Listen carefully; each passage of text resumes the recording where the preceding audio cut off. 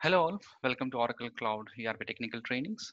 In this session, we'll discuss about how do we invoke an Oracle Cloud ERP SOAP web service from ICS.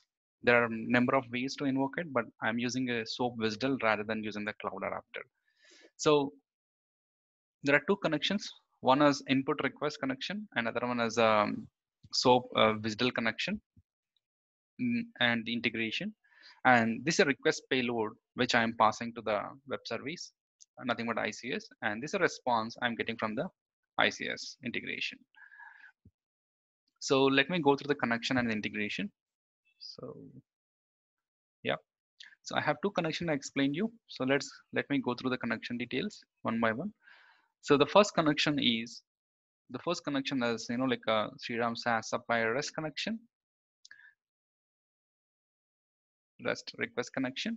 So this is a hmm. trigger connection. It doesn't have any information inside it, just a type as trigger. That's it. So there is no input parameters. There is no WSDL. There is no REST API. There is no credentials. Just a simple invocation purpose, trigger purpose. We are using it. And the other one is SOAP connection of Oracle Cloud ERP for the supplier, right? So Sriram SOAP supplier connection. And here, if you observe, I have mentioned the WSDL and the type as trigger and invoke and the credentials, username and password. Now let's get into the integration. So in the integration, Sriram supplier SOAP integration. So here, here if you observe, I have two connections and two mappings, right? The first connection is our this one. What is the first connection we have to mention? We have to mention this particular request connection, supplier REST request connection. Click on this. And yeah, it is already active, right? That's the reason you cannot see in a edit mode. I'll just click on view mode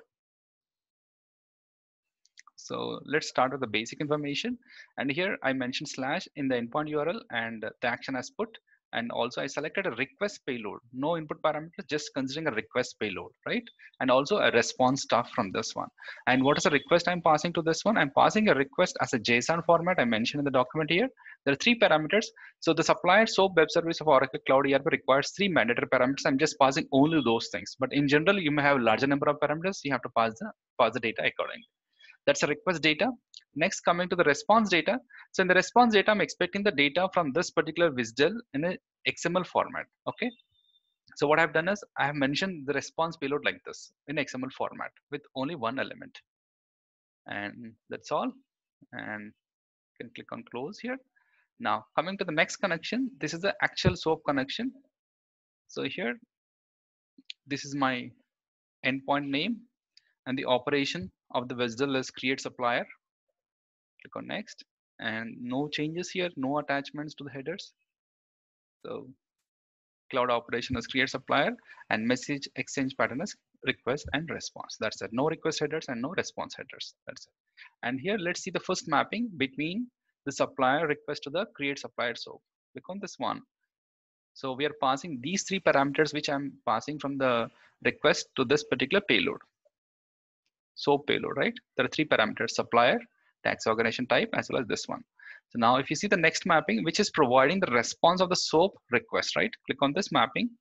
And here, if you observe, so the result which I'm getting the create from the create supplier SOAP response, I am passing to the, I'm passing to this particular one, the first request, right? So from the SOAP, I'm getting the response. This is mapped to the initial REST connection. Okay. So now let's close this one. Yeah. So here if you see this one click on this gear icon and just click on the endpoint url here if you observe it clearly tells you how do you invoke it right? Because the method is put and the request pay sample it provided the information. And now let's try to invoke from the soap ui right? So this is our connection. Where is that? Endpoint url this is our endpoint url i'll just copy this. I already have in a soap ui but i'll just copy it again and what is the information here? This was a request payload. I'll just copy this request payload. This username would have been there already, but uh, better what I can do is I'll just rename it. Okay. Click enter here so that I can see the data properly. Yeah. Okay. Now I'll just say mention some username ICS hyphen demo hyphen one. I'll just click on this one. I entered credentials of degree ICS already, so that it will not ask me. Let's see the response yeah i got the response as success already because i don't see any uh, what you call invocation action here so it means that it got executed So I can go to my Oracle Cloud ERP and I can refresh the procurement page. I should see the ICS uh, supplier which I created, right? So we can try again. Let's say I'll just remove the response now. I'll mention it as, uh, I'll just mention as two. Okay, let's see it. Yeah, that is now invoking. So when it's yeah finished, it will stop this invocation process. It's success. And now refresh here again. You should see the ICS demo to supplier here, right? Perfect.